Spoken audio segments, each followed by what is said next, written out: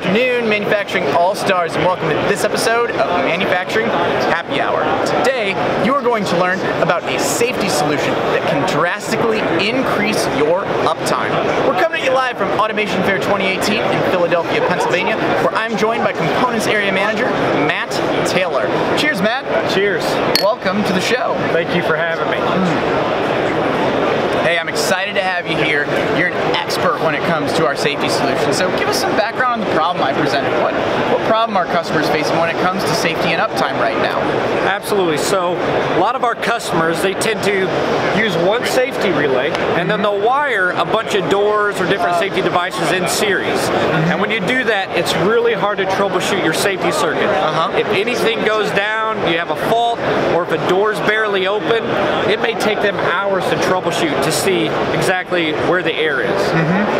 Now, when it comes to the GuardLink solution, how does it help address this problem? So again, we're able to keep one safety relay, but we can hook up to 64 different safety devices That's a lot. in series. Okay, and then mix and match, whether you want light curtain, e-stop, door interlocks, even guard locking switches, all of those are able to be used.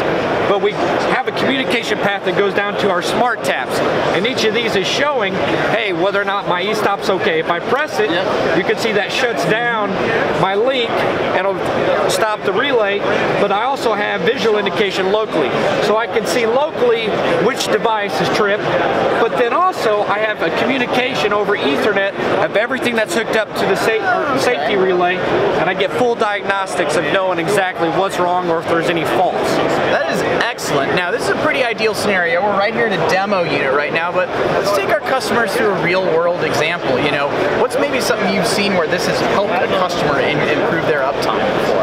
Absolutely. I have a customer and they had about 20 machines that they needed to update quickly. And again, they were having problems with troubleshooting of what's going on, but more importantly, they also had an incident, so they needed to react and get everything set up. Mm-hmm. They're able to install about seven or eight devices per machine on 10 of their machines within about a week or two with this setup. So it's very easy to design and actually install, and you get full diagnostics.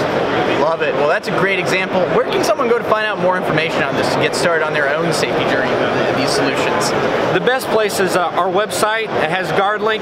There's some videos there. There's some application examples and uh, all the manuals. So a great resource. Awesome. I will have a link to that below the video like always. And also I got to give a shout out to Matt. He does excellent videos as well called What's in the Box. I'm going to link up to one of those probably right around here as the video is starting to end. So make sure to check those out to learn more about our safety and component solutions. In the meantime, Matt, thanks so much for being on the show today. Thank you. It's Cheers. a pleasure. Cheers. Absolutely. Hey, cheers, man. And for the rest of you out there, stay innovative, stay thirsty, and we'll see you again here on Manufacturing Happy Hour real soon. Cheers. Cheers.